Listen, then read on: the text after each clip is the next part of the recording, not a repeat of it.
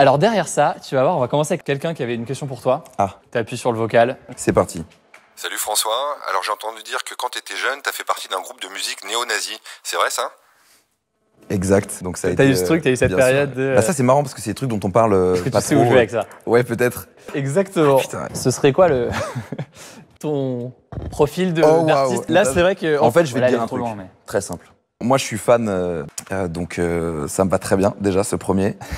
Euh, j'aime trop euh, ses paroles, j'aime trop ce qu'il raconte, j'aime trop la pureté. Euh, turbo fan, on adore. Attends, c'est- sensationnel. Donc ça, je prends aussi. Waouh. Tu penses que c'est le genre de choses que tu pourrais faire, euh, c'est-à-dire sortir quelque chose sans. euh, C'est ouais. bon. je me suis posé la question. Ouais. En fait, j'ai envie que la musique ne soit écoutée que pour ce qu'elle est. Euh, Peut-être que ce serait, euh, ce serait une bonne idée. Ouais. On passe à la séquence suivante? Oui. On va voir ce qu'il y a derrière.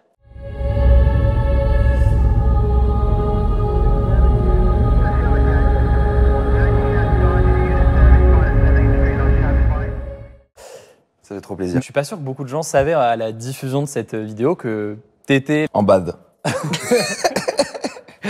On est en gêne. Non, en vrai, j'assume de malade. Tout ça, c'est des choses auxquelles je, je crois.